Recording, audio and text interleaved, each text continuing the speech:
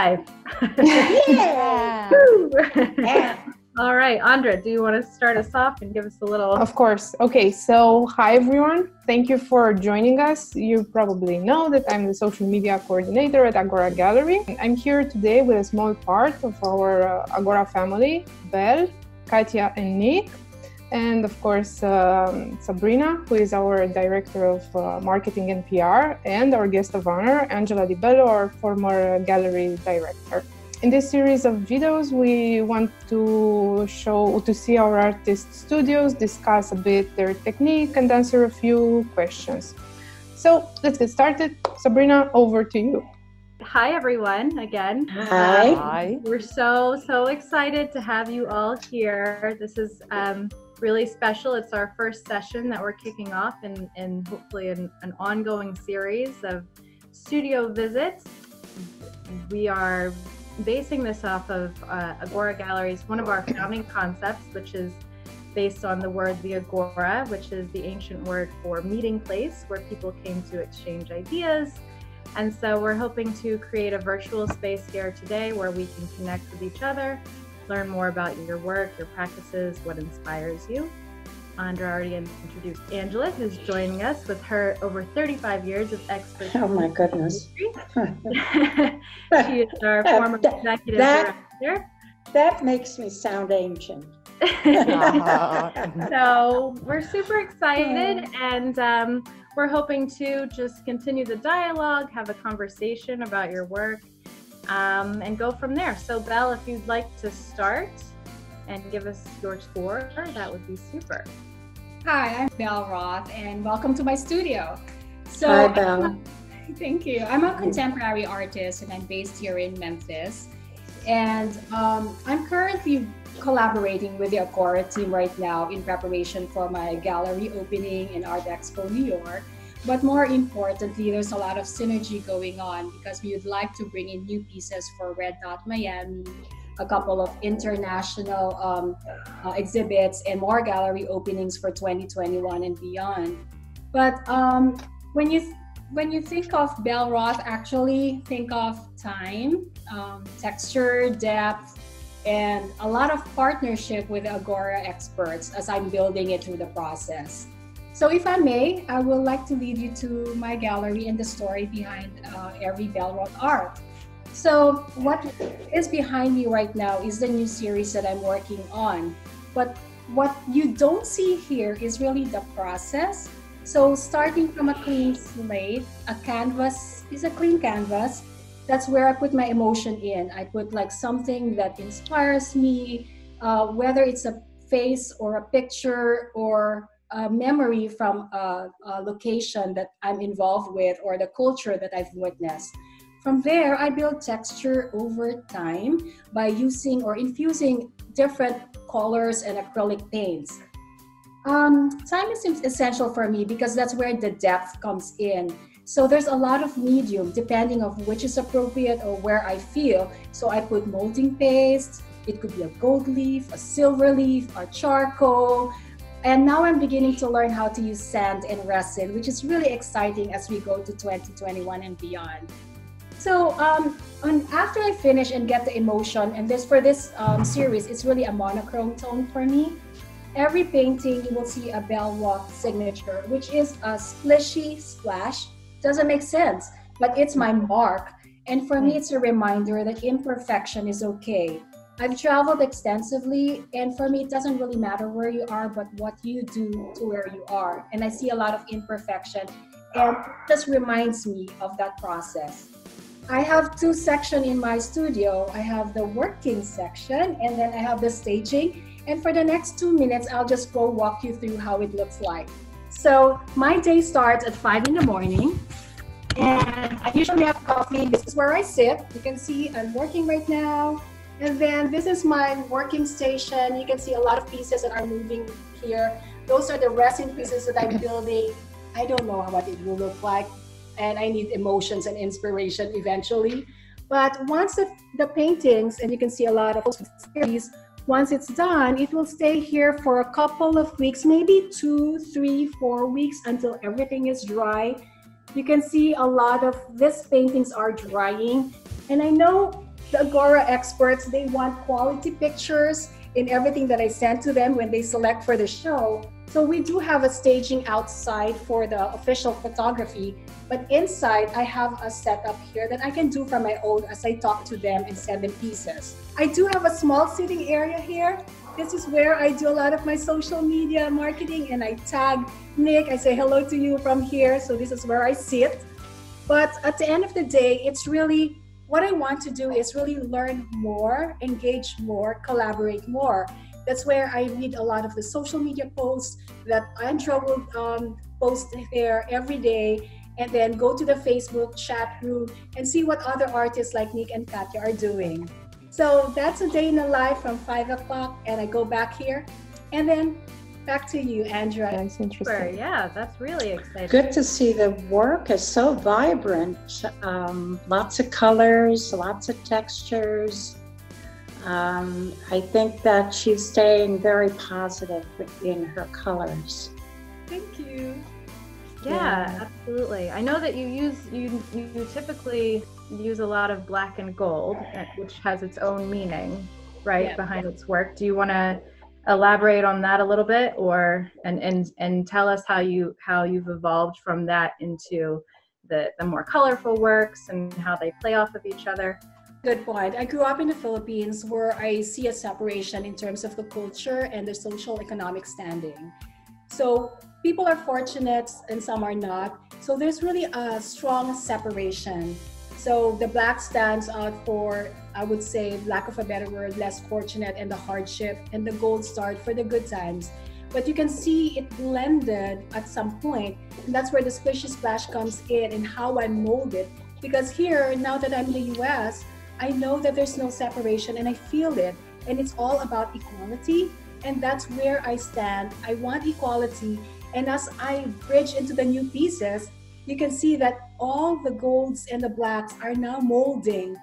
Every day I'm evolving, and that's where the evolving comes in because now I'm getting more exposed to the US, more positive, a lot of light, a lot of color. So, but uh, my foundation is the same. It's fun to see that progression. I mean, the color, I both of all the works behind you, I they speak to each other in a really nice way. Nice. Thank you. Great. Super. Well, thank you so much for that. And we'll come back. Um, but let's move on. Katja, do Yeah, you want to give us your tour? Um, I will get the laptop. As you see, I think you see it there, the outside uh, area. It's very calming. So when I start, I always try to focus on, let's say, the environment, the birds, to kind of calm, calm down and to really feel a good uh, emotion, feeling, and thought. And then I start to paint. And what I'm doing now is making heads. I hope you can see it. Mm-hmm. And I start with uh, white, always with white. And then with other colors, I'm going to add forms. And I don't know exactly, um, it's just intuitive. I start and then the forms come to me. Mm-hmm. And at the end, I like that. I use this. It's paint, and I can put nice lines. So then you get this. That's very interesting because what you're doing basically is design uh, is um, is actually outlining your form with a dark color. Is that correct? So you're using the brighter colors first, and then you're outlining your um, your your form comes about afterwards. Is that correct? Yeah, that's correct. Because Yeah. for me, it's about uh, the painting uh, becoming conscious, and Right. that you yourself really want to become uh, conscious and give a good uh, vibe away, but you're going through uh, emotions. Right. Well, it's very Yeah. interesting. The So- whole idea is really interesting. Yeah, so you have that you you have that feeling in yourself sometimes that's a little bit dense, and then you really feel the higher vibes. Right. But it's all in the painting, and in the end, I wonder uh, how do you say that? That it's happy and vibrant. definition comes through Yeah. in the end. Yes. Yeah, yeah. Very So- good. And this one is called uh, Human Touch because now with the social distancing is a kind of Yes. weird, huh? So that's uh, kind of the theme. And Mm. if I can take you to the other room, I have here my office where I usually use my laptop. And here are also some paintings. And you also see that it's not, yeah, it's kind of calm, but also very bright. And it's Mhm. also not totally perfect, but I love that it's kind of the heart shape. Mm. It's called the Compassion Society. Mm. Yeah. A lot of compassion is needed now in this particular so. time more than ever, right? Yeah, yeah. Yeah. So um, yeah, that's actually uh, kind of it. Well, I, I, I love, as I'm sure we all do, the fact that you are uh, thinking about uh, the physical distancing uh, part of where we are today and um, really taking that into consideration as you create your work. Uh, Yeah, yeah. Because I think, uh, in my perspective, we all need it to absolutely, each other and uh, embrace each other, uh, absolutely. self, but also for the other. Yes, Yeah. that's right. We have to come together somehow and Yeah. not forget that we are uh, human Yeah. and compassionate and need to reach out to each other in spite of the fact that we are physically separated. Yeah, yeah. So that's uh, what it's about now. Yeah, Yeah, yeah. Well, thank you so much. you're welcome. All right. Nick, do you want to give us your tour? Sure. Um, I am Nick Bautista. Um, I just uh, joined Agora Gallery in February, so I'm fairly new. Uh, but I'm also extremely excited uh, to work with you all um, and the gallery, so thank you very much. So I have uh, a work in progress behind me, which I'll show you uh, in a little bit when I do a quick little tour. Um, a lot of my paintings, uh, I should say the majority of my paintings, um, the aesthetic and the visuals are derived uh, from my drawings. Um, I write and I draw and I journal every single day. It's uh, it's a practice that I've kept up for years. Um, high school, all the way through art school, graduate school, um, up until this morning.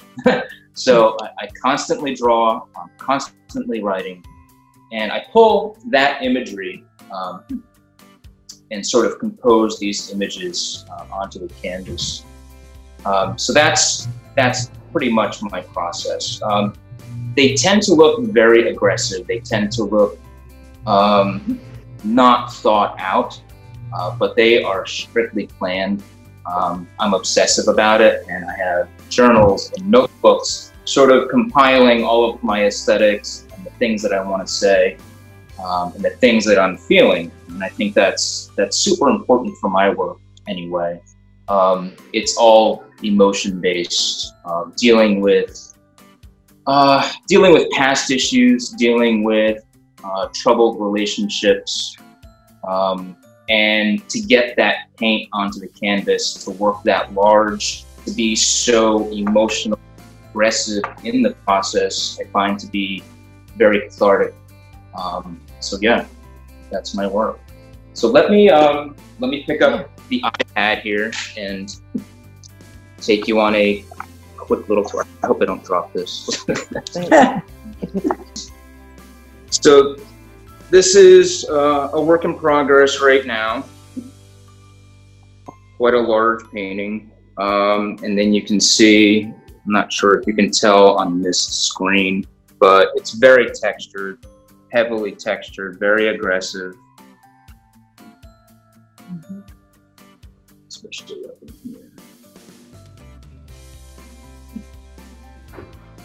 So that's that. Uh, my work, small work table over here. It's very haphazard when I'm working. There's paint, everywhere, and then uh, just a little planning board where I have notes and whatnot. And then it's a pretty long studio, so I can really back up if I want and open up the doors and actually walk all the way outside. So I have quite a bit of space around here. Um, I have a lot of space to work, to be aggressive, and to be and not have to worry about messing things up or being careful with anything. So, all right, that's my little my little virtual tour. And Wow. Well, Cool. thank you. Yeah. It's, it's wonderful to see the texture uh, in your work and uh, such an expression of feeling through the gestural brush strokes and and the staccato way that you paint, which is so much a part of your work. yes, thank you very much. Yeah. I'm curious to know um, how uh, this pandemic that has unfortunately touched all of our lives and is changing the way we live uh, influenced uh, the way that you paint or your schedule. Um, I know that artists, of course, work in isolation. That's the nature of um, of the beast, as we say. But um, this is extreme isolation, and uh, I'm curious to know how each of you have either changed habits or are doing something differently because most of you are probably not having open studios, and we certainly know that you're not uh, showing your work in art fairs or uh, most galleries are shut down right now. Uh, so, what have you done uh, recently to uh, become more um, social without actually being physically uh, in the space with another person? Uh, Nick? Yeah, sure. Uh, my daily schedule, my habits really haven't changed. Um, it's unfortunate that this pandemic has hit us, uh, but I tend to be a naturally introverted person. Right. I'm always working in isolation. I prefer to work alone. Um, so in that respect, it really hasn't it really hasn't changed. Uh, I'm still in the studio. I'm still working. I tend to be a solitary creature. Um, things that have changed, though, I, I have been on social media a lot more Mhm. uh, bec- because yeah, not getting our physical on the walls, and you know, people can't experience them, and they can't enjoy them or ask questions about them in the presence of them. So I think it's really important, um, just like this uh, this call that we're doing right now, um, and sharing our work and sharing our thoughts um, and showing what we're working on, because that just unfortunately it can't happen right now. Right. Uh, has has your uh, have you given a great deal of thought or some thought to to this virus and and how uh, uh, an expression of what is being manifested in your work somehow has it changed your work in any way?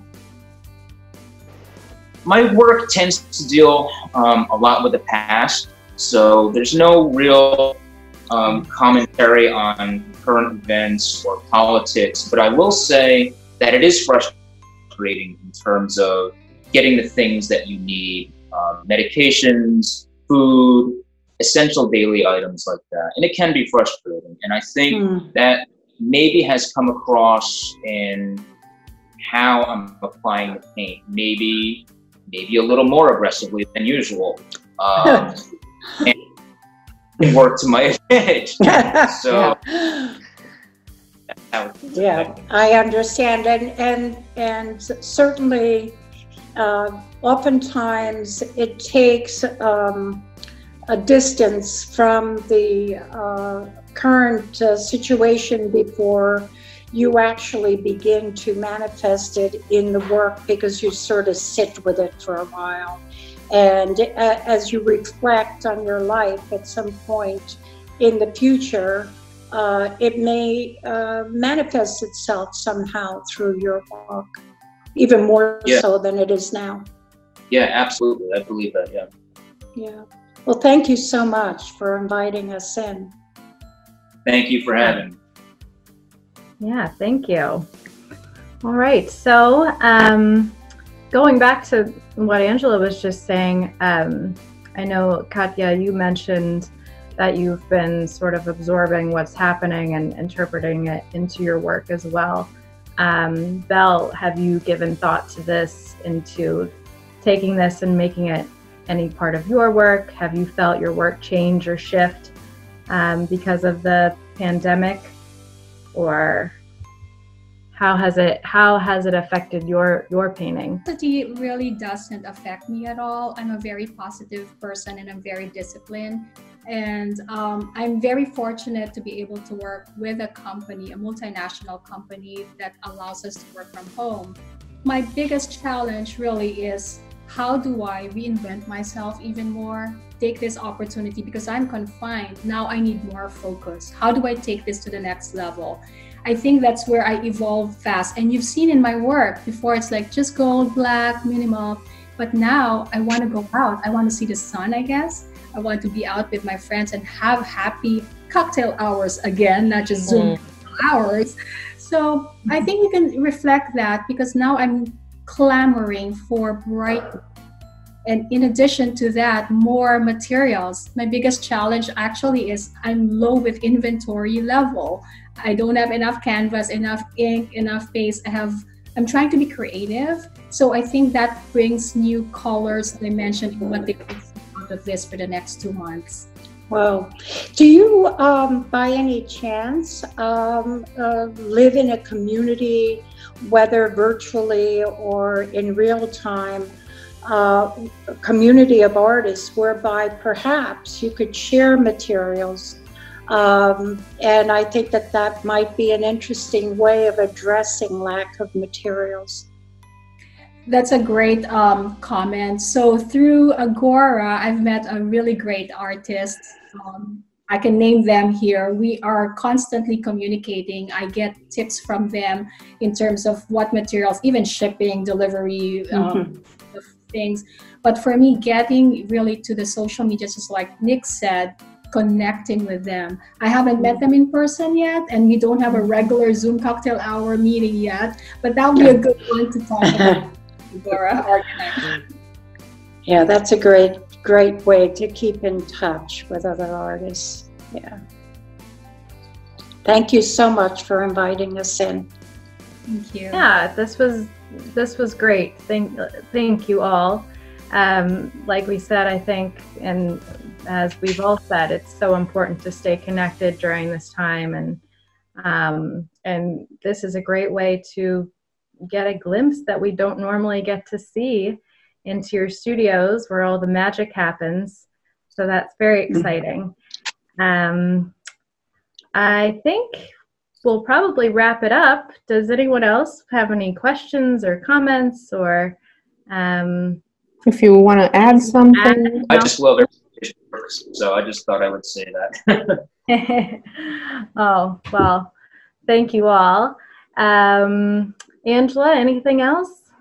No, um, I, I just uh, hope that everyone stays safe and um, uh, we'll get through this, of course. Uh, we have to respect our, our distancing.